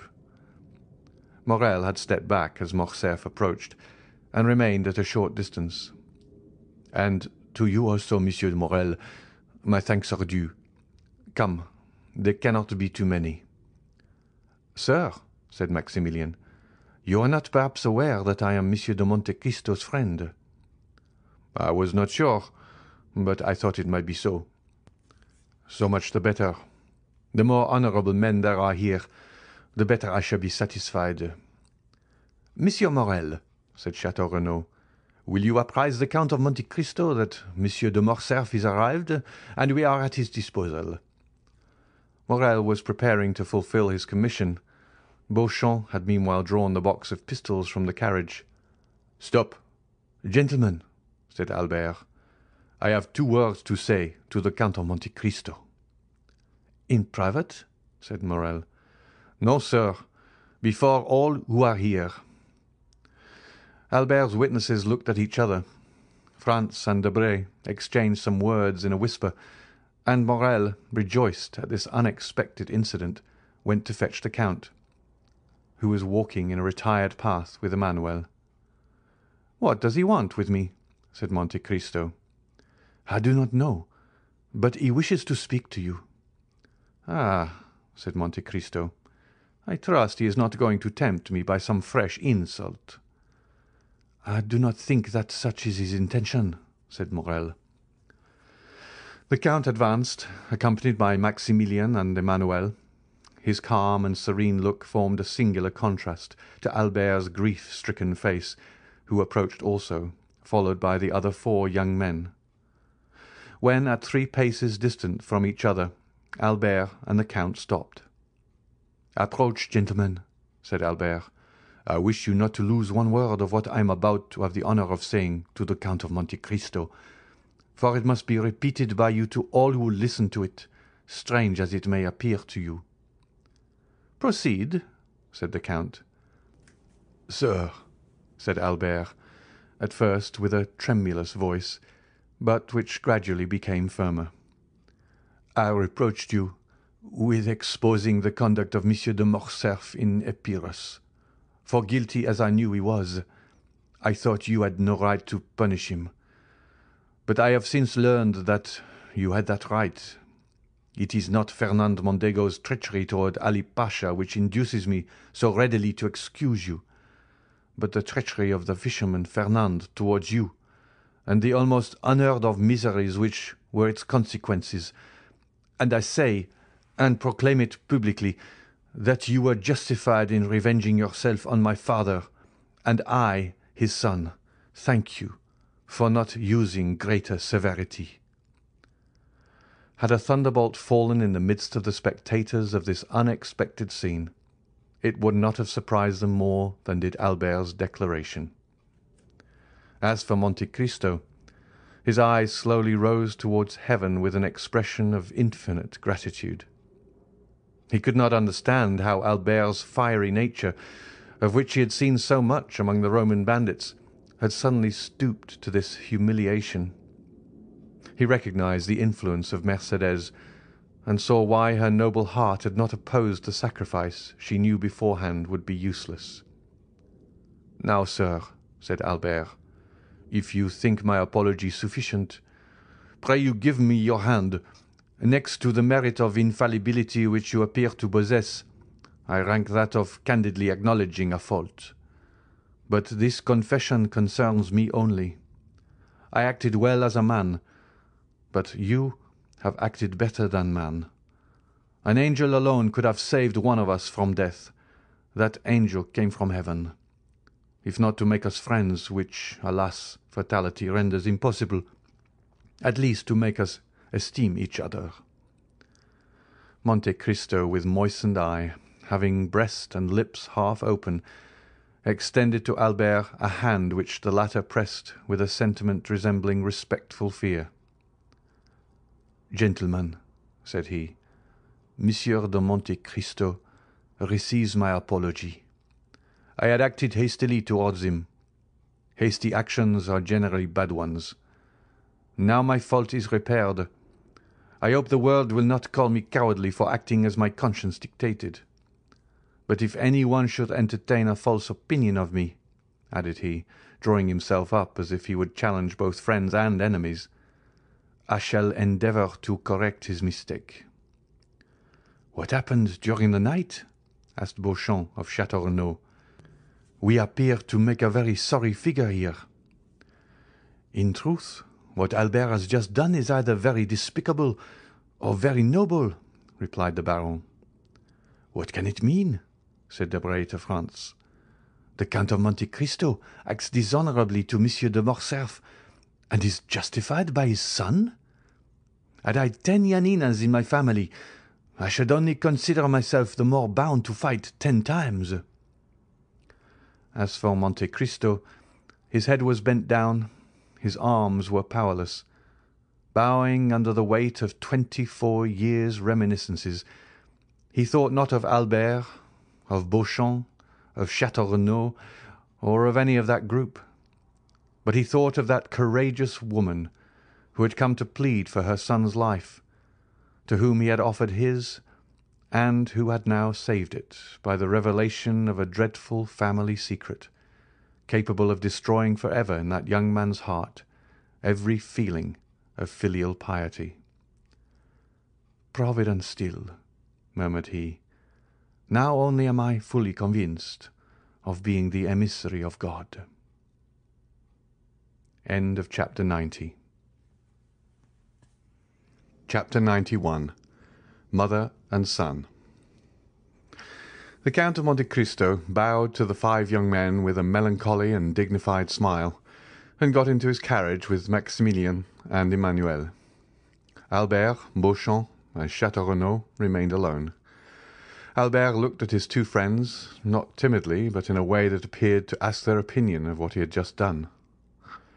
"Indeed, my dear friend," said Beauchamp first, who had either the most feeling or the least dissimulation, "allow me to congratulate you. This is a very unhoped for conclusion of a very disagreeable affair." Albert remained silent and wrapped in thought. Château Renaud contented himself with tapping his boot with his flexible cane. "Are we not going?" said he, after this embarrassing silence. "When you please replied Beauchamp. "Allow me only to compliment Monsieur de Morcerf, who has given proof to-day of rare chivalric generosity." "Oh, yes," said Château Renaud. "It is magnificent," continued Beauchamp, "to be able to exercise so much self-control." "Assuredly. As for me, I should have been incapable of it," said Château Renaud, with most significant coolness. "Gentlemen," interrupted Albert, I think you did not understand that something very serious had passed between Monsieur de Monte Cristo and myself." "Possibly, possibly," said Beauchamp immediately. "But every simpleton would not be able to understand your heroism, and sooner or later you will find yourself compelled to explain it to them more energetically than would be convenient to your bodily health and the duration of your life. May I give you a friendly counsel? Set out for Naples, The Hague, or St. Petersburg, calm countries, where the point of honour is better understood than among our hot-headed Parisians. Seek quietude and oblivion, so that you may return peaceably to France after a few years. Am I not right, Monsieur de Château That is quite my opinion, said the gentleman. Nothing induces serious duels so much as a duel forsworn. Thank you, gentlemen, replied Albert with a smile of indifference. I shall follow your advice, not because you give it, but because I had before intended to quit France. I thank you equally for the service you have rendered me in being my seconds. It is deeply engraved on my heart, and after what you have just said, I remember that only. Chateau Renaud and Beauchamp looked at each other. The impression was the same on both of them, and the tone on which Morcerf had just expressed his thanks was so determined that the position would have become embarrassing for all if the conversation had continued. "Good-bye, Albert," said Beauchamp suddenly, carelessly extending his hand to the young man. The latter did not appear to arouse from his lethargy. In fact, he did not notice the offered hand. "Good-bye," said Chateau Renaud in his turn, keeping his little cane in his left hand and saluting with his right. Albert's lips scarcely whispered "Good-bye," but his look was more explicit. It expressed a whole poem of restrained anger, proud disdain, and generous indignation. He preserved his melancholy and motionless position for some time after his two friends had regained their carriage. Then suddenly Unfastening his horse from the little tree to which his servant had tied it, he mounted and galloped off in the direction of Paris. In a quarter of an hour he was entering the house in the Rue du Helder. As he alighted, he thought he saw his father's pale face behind the curtain of the Count's bedroom. Albert turned away his head with a sigh, and went to his own apartments. He cast one lingering look on all the luxuries which had rendered life so easy and so happy since his infancy. He looked at the pictures, whose faces seemed to smile, and the landscapes, which appeared painted in brighter colours.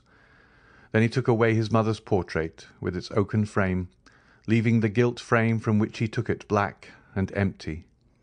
Then he arranged all his beautiful Turkish arms, his fine English guns, his Japanese china, his cups mounted in silver, his artistic bronzes by Foucher and Barye, examined the cupboards, and placed the key in each, threw into a drawer of his secretary, which he left open, all the pocket-money he had about him, and with it the thousand fancy jewels from his vases and his jewel-boxes.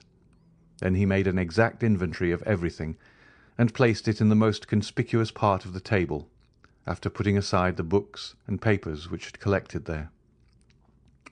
At the beginning of this work, his servant, notwithstanding orders to the contrary, came to his room. "What do you want?" Uh, asked he with a more sorrowful than angry tone. "Pardon me, sir," replied the valet. "You had forbidden me to disturb you, but the Count of Morcerf has called me." "Well?" said Albert. "I did not like to go to him without first seeing you." "Why?" "Because the Count is doubtless aware that I accompanied you to the meeting this morning." "It is probable," said Albert. "And since he has sent for me, it is doubtless to question me on what happened there.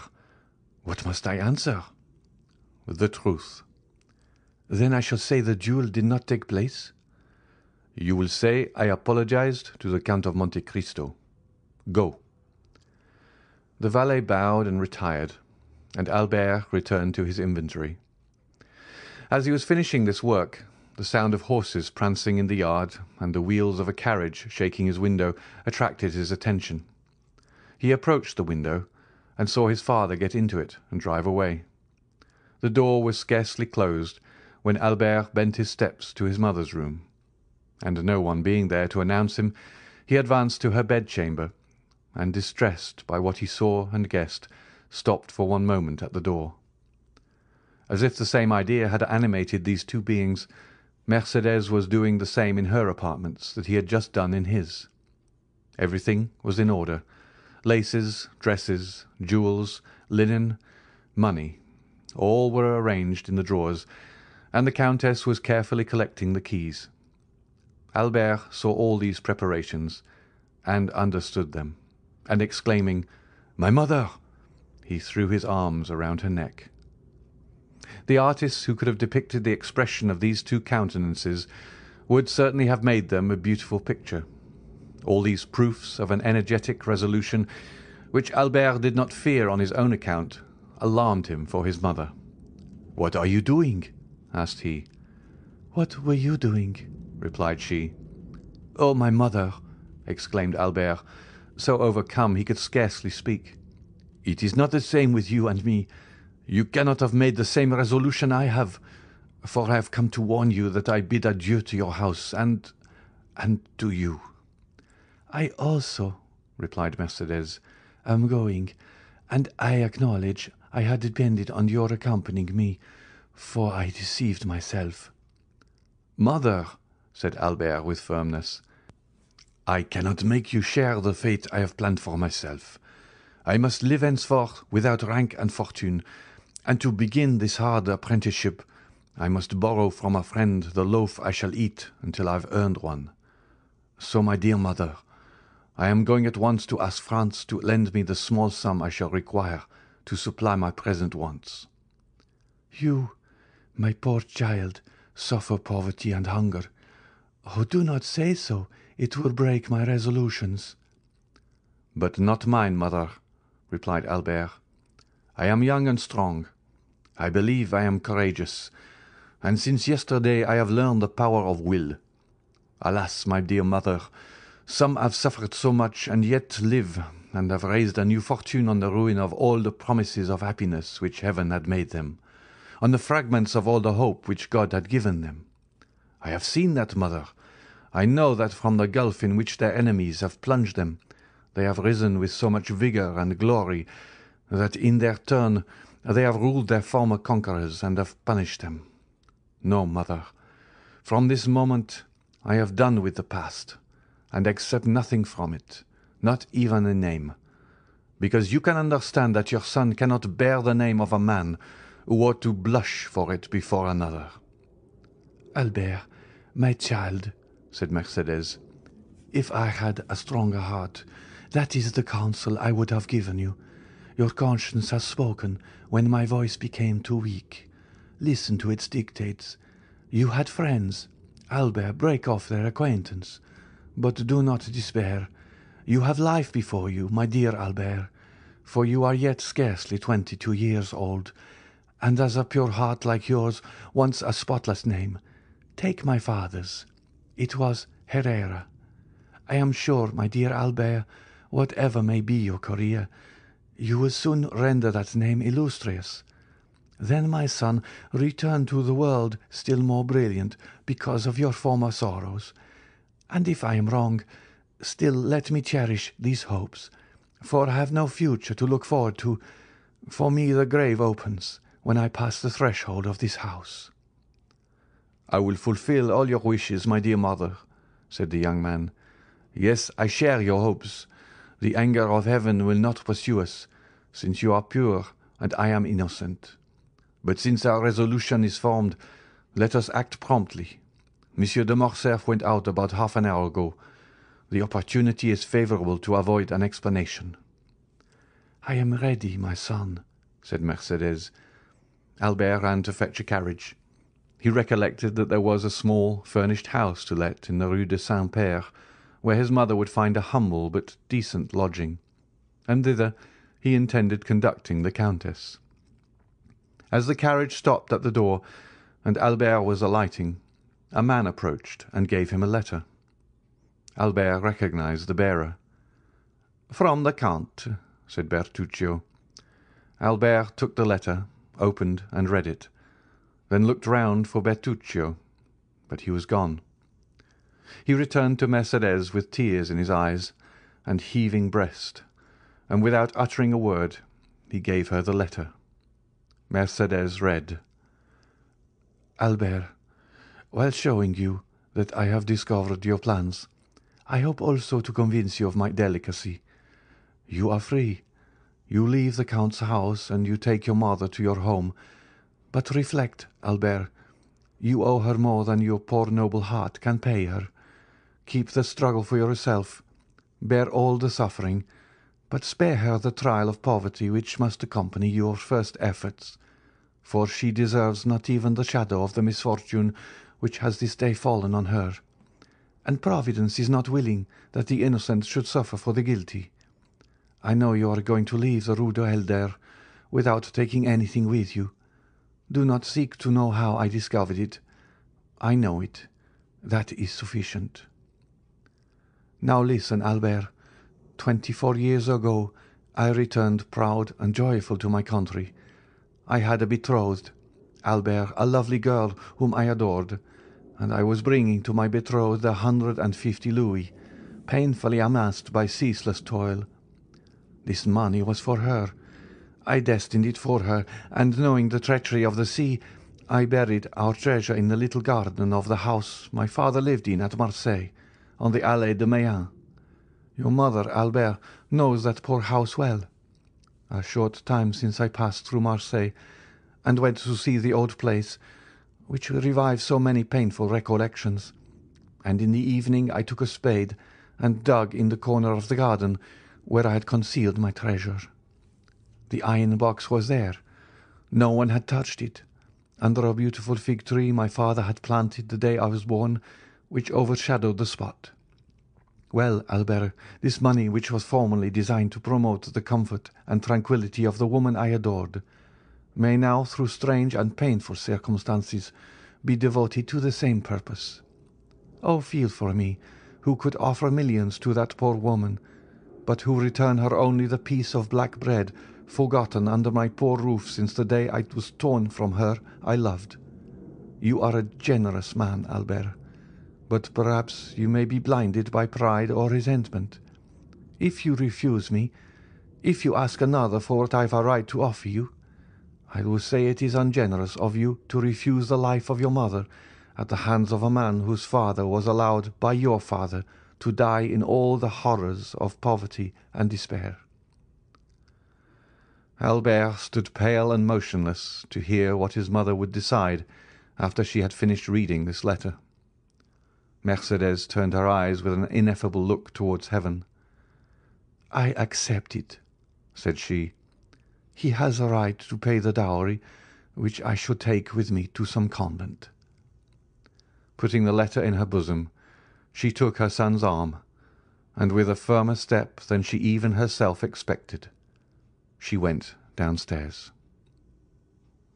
End of chapter 91. Okay, be honest with me. Did you come close to tears at the end of our last chapter? I choked up. I didn't actually cry. I don't know if I would have choked up as much if this had been another scene between Edmond and Mercedes.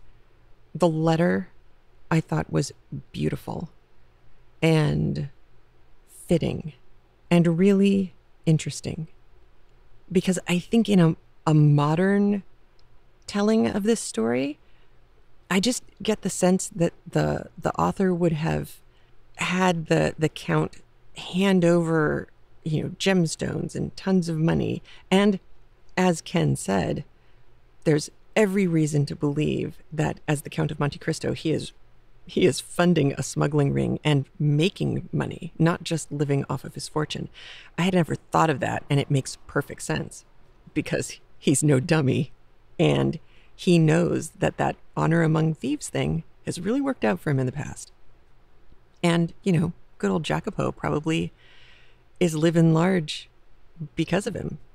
Got a boat, got a living, some job security. It's all good but I, I just I cannot I cannot lose the feeling that a modern writer would just have have had the count fund her and Albert just you know wads of cash go and have a good life. I won't be there with you, but go and don't depend on the fortune that was so ill gotten.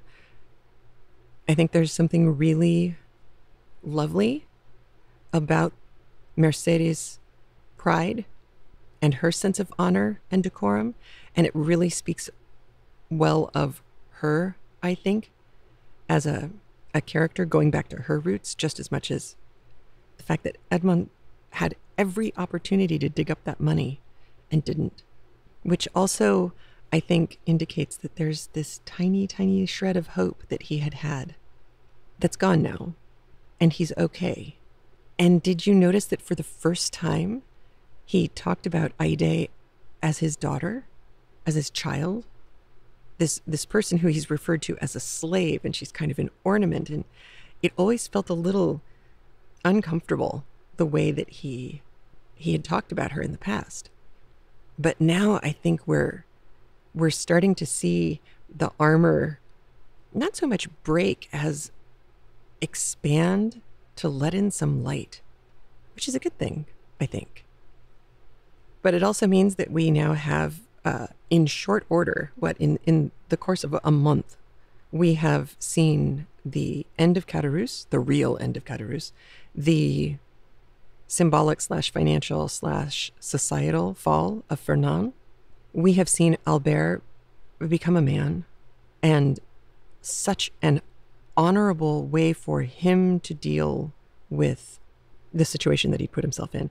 And I love that uh, after it's like, wow, okay, so no fight. And the Count accepts this apology that came out of nowhere and everybody leaves. And now it's just Albert and his friends standing around. And Beauchamp's response is, well, that came out better than I thought it would.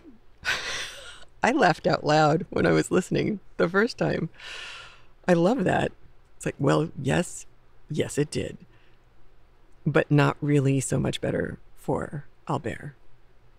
And yet, as the son of Mercedes, his instinct was to also get out of Dodge, sure, but get out of Dodge and not take any ill gotten gains with him, which leaves him with precious little, of course, because he doesn't really do anything or have an income. I don't know how he's going to make a living. I'm sure he doesn't know either. But we did get some interesting revelations in our chapters today. Uh, one, Emmanuel is still alive and well. There's Julie, there's Emmanuel. Julie is Maximilian's sister.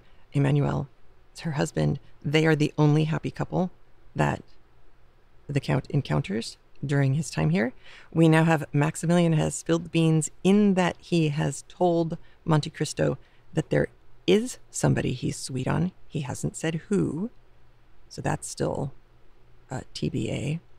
We also learned that Bertuccio knows how to get to and get stuff out of the grotto on Monte Cristo, on the island.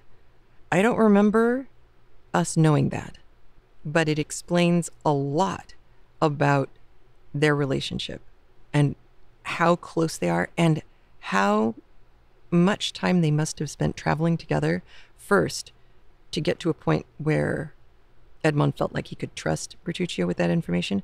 But also, that explains why he is able to look at Bertuccio and say, Do you have that property that I asked you to get in Normandy? Yes. Did you appoint it the way you know I want it to be appointed? Yes. Did you get the boats? Yes. You know, there's nothing is left to chance because everything is left to Bertuccio.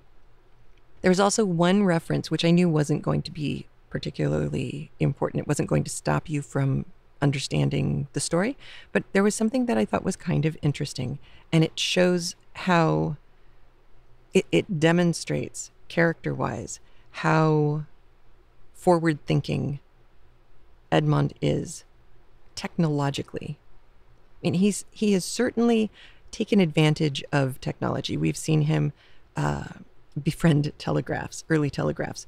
We've we know that he outfitted his boat, the the first boat that he had made for himself, uh, with the you know the best of the best at the time. So it was very.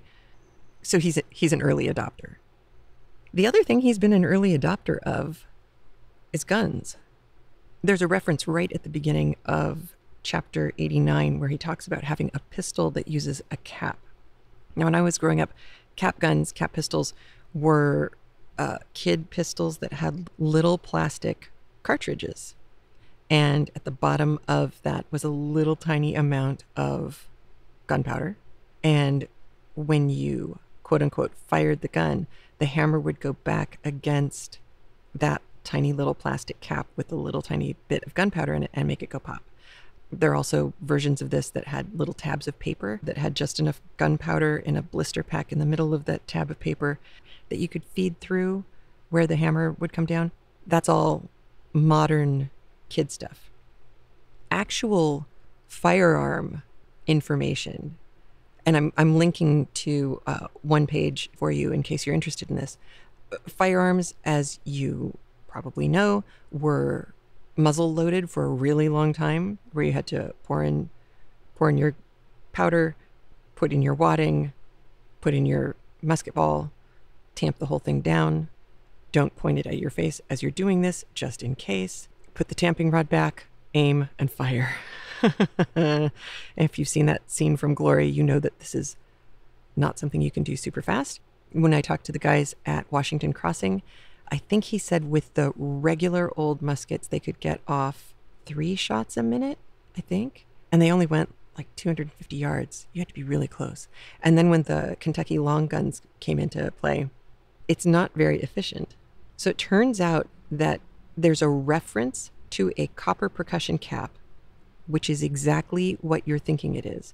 It's the casing, the bullet casing. It's the thing that's left behind on CSI when they come to a crime scene the bottom of that cap, where you see, if you look at it, you see it's round, and you see a circular indentation in the bottom of that cartridge. The bullet, obviously, if you find it on the ground, is missing because it's been fired. You have the empty shell, that's the cartridge, and at the bottom of that would have been the percussion cap. It would have been the place where the gunpowder was, just like loading a musket, except it's all preloaded for you. So, a copper percussion cap was sort of mentioned, kind of, sort of, in an 1814 patent application. However, that was it. It wasn't really mentioned again until 1823, but it apparently had been in use from 1814, 1815, 1816. Real percussion cap guns, guns that were designed to be loaded with pre made units, complete units, bullet, gunpowder, cartridge, the whole bit. Those came out in 1826. The Delvigne service rifle was invented in 1826 as well. The Robert rifle was invented by well, it's Robert, a gunsmith in Paris, and the percussion cap system of ignition became part of service weapons in 1843. So, Edmond having a pistol that fired a bullet using a preloaded cap meant he was not going to misfire. There was not a chance that, like Andrew Jackson and his 17,000 duels, or Alexander Hamilton and Aaron Burr, or like the duels alluded to in, in Hamilton with uh, him and Aaron Burr, but also all the other people that they had dueled with, um, there was no chance of a misfire. Uh, that was one way that you could really easily get out of killing your opponent. In Hamilton, he talks about uh, throwing away your shot, pointing your gun in the air, not taking the shot. The count was not going to miss. The count was not going to have a misfire. And I love the description of what a marksman he was. Because, wow, yikes. I also loved that in the middle of all of these very, very tense chapters, we have that moment early on where we hear Mercedes dream, her very, very accurate dream of what had happened to Edmond when he was in prison. It was beautiful. It's heartbreaking, but these were good, good chapters, right? I needed to give you all of these. We needed to get to the point where Mercedes and Albert are able to leave with some self respect and the respect of Monte Cristo. I do feel like Monte Cristo and Mercedes are awfully hard on Mercedes because, as we know from every other piece of literature that we've ever read, uh, women alone are in danger financially as well as physically, and not getting married and waiting for a guy from whom there has been no news for 14 years seems like a long shot to me. Seems like you're playing kind of dangerous, fast and loose with your future. Fernand was an unknown quantity. She had no idea that he'd been involved in getting rid of Monte Cristo. Charming, charming man, I'm sure. She also clearly had no idea what had happened with Ali Pasha and uh, Haydée and her mom. But I think it's it's awfully harsh to blame Mercedes for being weak after 14 years. I mean, I know she didn't get married after 14 years. She got married before the end of that. But still, knowing how women's lives went back then, I tend to cut her cut her some slack. But I I think Dumas has it play out this way for a reason. And as we continue through the book, it gets clearer and clearer why. All right. Have a great week. I will bring you more fantastic chapters next week. And don't forget to visit Katie's website, embodyfocus.com slash bliss. Go take a look at her Bliss Day download and then take a good long think about working with her. If you're stuck, if you're needing to get out of the rut, because we've all been in ruts, and get some creative perspective from not just Katie and Rianne, but some really, really smart people, it's probably not a bad idea to take a look and book an appointment to talk to her more. Don't forget that Katie's offer only lasts through the end of July. So if you're not listening in real time, I'm sorry. I'm putting posts up on Instagram and Facebook as well, and and hoping that I can get to you that way. All right, you take care of yourselves. I will talk to you in a week. Have a great week. I'll talk to you soon. Bye. A big thanks to all the Craftlit listeners who support the show by being a premium audio member via craftlit.com slash premium or via patreon.com slash craftlit. Your support for the show is what's kept us going since 2006. If you feel like getting free audio pretty much every week, please consider supporting the show by heading over to patreon.com slash craftlit and pledging what you feel the show is worth to you. If you can't support the show that way, consider leaving a review at iTunes or at our facebook.com slash craftlit page, or follow at craftlit on Twitter and share the show with your followers too. And remember, if your hands are too busy to pick up a book, at least you can turn one on.